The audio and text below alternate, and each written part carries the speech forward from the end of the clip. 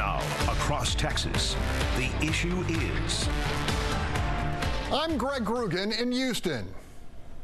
I'm Stephen Dial in Dallas, and this is Texas. The issue is our colleague in Austin, Rudy Koski, is out this Sunday. For the better part of a decade, a dark cloud of potential criminality has hung squarely over the head of Texas Attorney General Ken Paxton in the form of three felony counts of securities fraud. This week, the threat of removal from office and possible prison time simply melted away with a courtroom deal many view as a judicial bullet dodged by the once embattled AG. State of Texas versus Warren Kenneth Paxton Jr. The Lone Star State's top cop strolled into a Harris County courtroom bearing the burden of three felony fraud charges which have lingered for nine long years. But in a matter of minutes, the criminal allegations that he hawked securities without a license and without disclosing he was being paid were rapidly resolved, and the threat of conviction, disbarment, and removal from office all but lifted. If the contract is violated, you understand, both sides understand, that this court will be setting a very speedy trial. At the end of the day, it is not a plea bargain.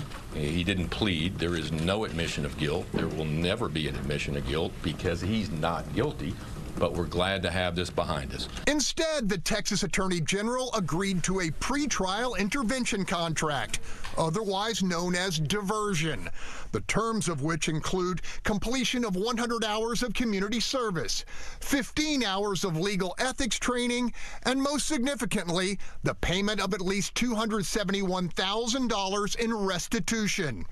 Asked why his client Paxton was coughing up the cash if he did no wrong, attorney Dan Cogdill offered a quick response. A good question. Uh, one, of the, one of the answers to that is cheaper than what you'd had to pay me if we went to trial. Special prosecutors Brian Wice and Jed Silverman said an intense review of the evidence and likely witness testimony convinced them restoring the financial losses suffered by Paxton's alleged victims outweighed rolling the dice with a jury. Restitution first and foremost, that was a game changer. Secondly, community service like any other defendant.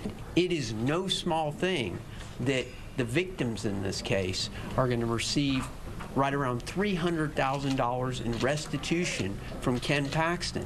That is no small thing. In a way, he's been on, on pretrial diversion for the last nine years. The Attorney General appeared to agree, issuing a statement which read, for over a decade, my family and I have been dealing with the ongoing stress of these accusations and are relieved to finally have a resolution in this matter, adding, There will never be a conviction in this case, nor am I guilty.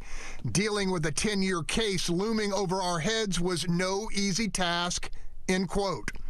As part of the diversion deal, Paxton agreed to supervision by his prosecutors and to pay the restitution in full within 18 months from personal assets, not political contributions. You cannot use campaign funds to pay personal debts. It is a debt triggered by a prosecution Ken Paxton's lawyer believes should never have occurred. I don't think any of this would have happened but for the fact that he was the attorney general at the time they, they investigated. it. The question isn't whether or not who won, what was justice served. And I think the answer to that is unmistakably yes. Stephen, my one word description of what just unfolded Teflon, as in nothing seems to stick. Stephen, what's your word?